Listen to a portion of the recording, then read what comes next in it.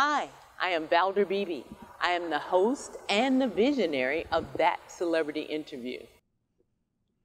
Reyne, good day. Thank you so much and welcome to the Valder Beebe Show on this wonderful week. How are you today? Oh, hey, I'm playing with toys. What could be better? I know. This is going to lighten my day up. I've had a serious morning on retirement and all those other things, and I can't wait to talk about toys with Reyne Rice. Reyne, what do you have for us at the Toy Fair? Okay, so let's look at something that's inspired by classic toys and the influence of pop culture. So, inspired by the movie Minions, The Rise of Gru, which is coming out early in the summer, kids who love Minions will go wild for this Lego building set. First, they can build a brick version of Kevin and Stuart. Then they can turn around the models to reveal the room playset inside. Complete with accessories, there's tools and hats and weapons. There's three little minifigures for role play and kids can construct two toy minion models at a time, so Kevin and Stuart, or they can deconstruct Kevin, rebuild him into Bob, who's practicing Kung Fu. And inside the rooms, kids will enjoy all the intricate details matching each different minion's unique personality. They can create inventions in the lab with Kevin, or they can watch Stuart take a nap in his bedroom. All the details that LEGO is so good at. I want my audience to remember that Reyne Rice is a global toy and trend expert. Reyne, any classic toys that are going to make a comeback? Yes, actually, we have in celebration of Pac Man's 40th anniversary, there's a Pac Man Tamagotchi.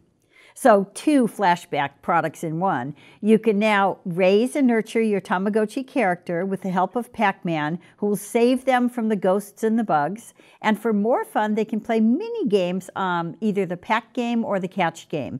So, you can choose from two different device shells or a deluxe item that comes with a Pac Man case to protect your toy and it easily fits into a pocket or a bag, and it even includes a wearable keychain that allows kids to take it wherever they go.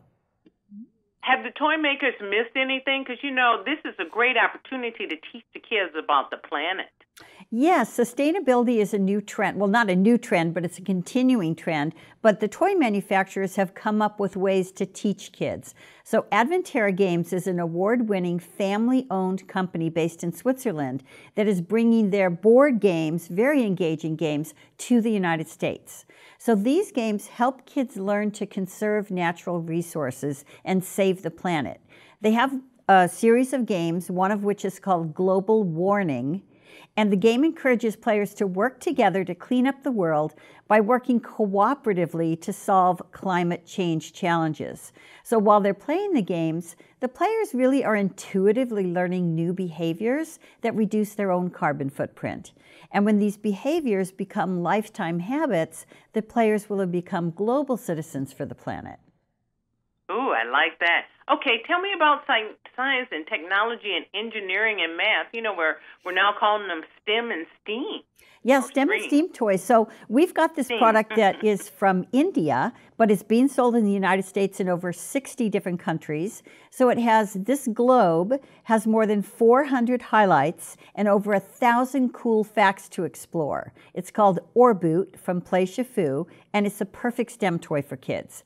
So with just the tap of their finger, kids can explore and learn with the best 3D interactive globe.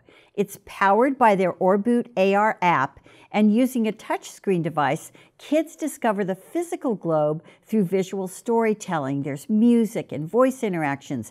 There's quizzes and challenges. It's available in eight languages, and Orboot comes with one base and the companion app.